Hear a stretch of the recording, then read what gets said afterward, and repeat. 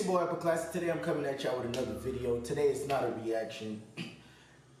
we go first. We're gonna talk about Kodak, and then we're gonna get into G, G Herbo. Matter of fact, this dude the other way around. Well, today G Herbo got locked up for supposedly beating up Ari. She went to Instagram and posted this. He kicked my door down to get inside my house because I wouldn't let him in. Beat the fuck out of me in front of my son, then took my son outside to his friends and had them drive off with my son. Hid all my knives in my house, broke my phone, and locked me inside. Beat the fuck out of me again, choked me, punched me in the face, all over my body, dragged me outside on the concrete by my head.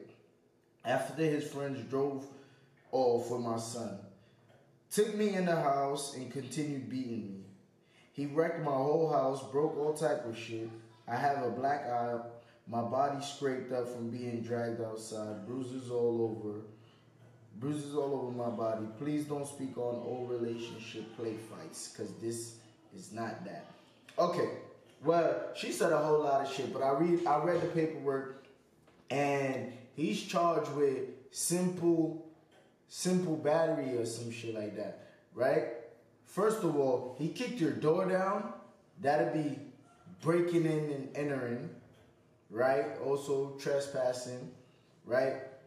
Vandalism, because you say he destroyed your house, right?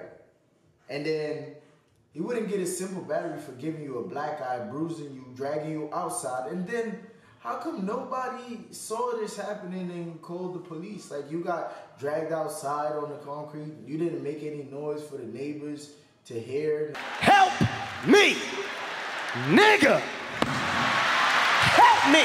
To hear. Nobody came out and seen what happened. And then the police report also said that G Herbo left with their son, but then later on came back. And that's when he was arrested Okay, so if I just beat the shit out you, dragged you, gave you a black eye, destroyed your crib, why would I come back to the scene? That don't make no sense. Like G Herbo would have to be the most retarded person to come back to the scene after beating her up and destroying her crib. You feel me? And then you're a rapper on top of that. You know like how far it's gonna go already, like cause they trying to destroy rappers you feel me? Careers and shit out here, especially you a black rapper, right? But I don't believe her story. Maybe they got into a little scuffle because you know how she always like she's always the aggressor. If you watch videos with them too, like she's always the aggressor. You seen at the, um, their kid's birthday party after the party what she was doing to him outside. You feel me? She's always the aggressor when it comes to Herbo, and he doesn't really do anything back to her. So you know what probably happened was she attacked him, and maybe he like grabbed her to get him off her, like grab yoked her up, you know, and probably his nails scratched her and shit. You know, that's why they said she had scratches in the police report. Don't say no black eye, no bruises. It just said little little scratches and shit. So I feel like she just she just made up that whole story, you know, just because she she she wants him. She wants him. You seen at the party where she throwing the cake in his face and all that. Yeah, she she want my son Herbo still. You feel me? She not over Herbo. I mean, the other nigga was just a rebound to get over the situation. Know I mean? But y'all tell me what y'all think about this story. And then let's go to Kodak now.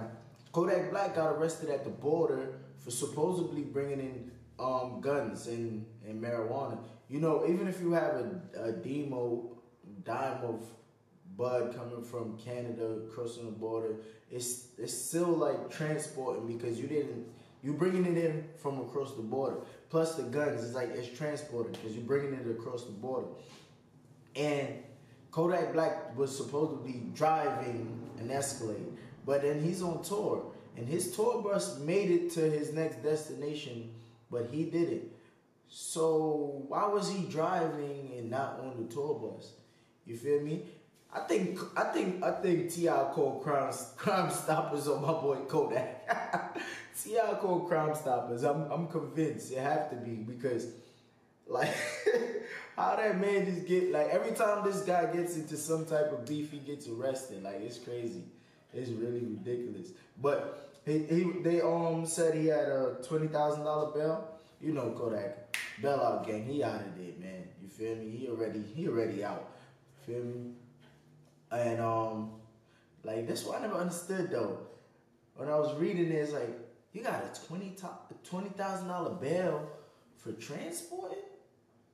You're, you're, it, it's not one gun. It's more than one gun. There's a gun in the car that he was driving, and his entourage had a, a gun in the car. His entourage remember, copped out to it. You feel me? And then he had a, gun in the trunk. They said it's, it, it appears to be like an AK and shit, but it's a handgun with a drum. You feel me?